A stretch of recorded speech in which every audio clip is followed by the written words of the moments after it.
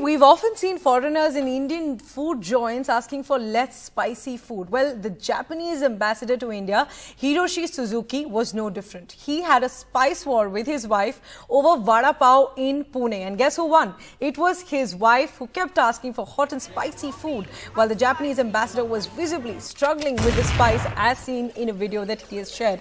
He tweeted saying that my wife beat me uh, in a Pune uh, over this vada pav contest and he tweeted this alongside a clip and added a red chili emoji along with it. Prime Minister Narendra Modi has reacted to the video as well and he said that this is one contest that you may not mind losing, Mr. Ambassador, and good to see you enjoying India's culinary diversity and also presenting it in such an innovative manner. That's what the Prime Minister tweeted.